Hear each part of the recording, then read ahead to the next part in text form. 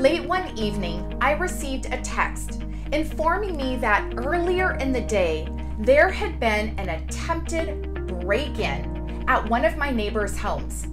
Now, I didn't have a lot of information, but I decided to post what I did know on one of those neighborhood watch apps. And just as I'm falling asleep, the comments came rolling in. Most of them very thankful, a few asking for more details that I didn't have, and of course, the handful of negative comments, including one of my neighbors saying, Why would you put us all on alert for something that happened over eight hours ago?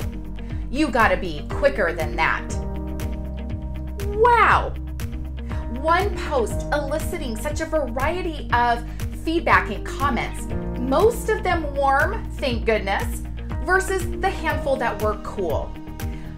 I want to live with neighbors in a society, in a family, in a workplace that is warm versus cool, that is generous, gives gratitude, is helpful versus cold, negative, cool.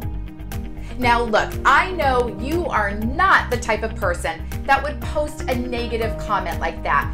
But I'm going to challenge you a little bit because we all have a tendency to react in a negative way at certain times. And so I want to offer to you just a couple of tips of how I manage that so that I don't end up becoming the person who is too cool and posting a negative comment. First, it's just self awareness. Hey, look, what's the emotion I'm feeling? Before I act, it's how am I thinking about this? Why am I feeling this way? What is going on with me today that is causing me to have this emotion? It's got to start internally.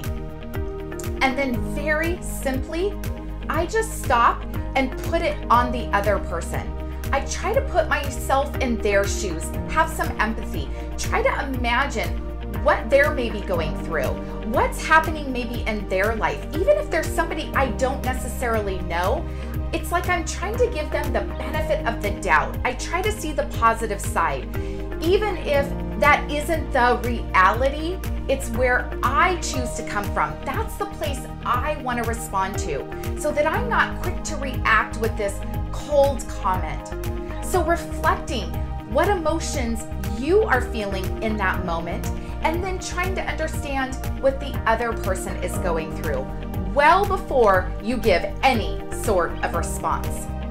How do you manage staying warm versus cool? I'd love to hear from you in the comments below. I'm here to help you live that successful and fulfilling personal life. Until next time.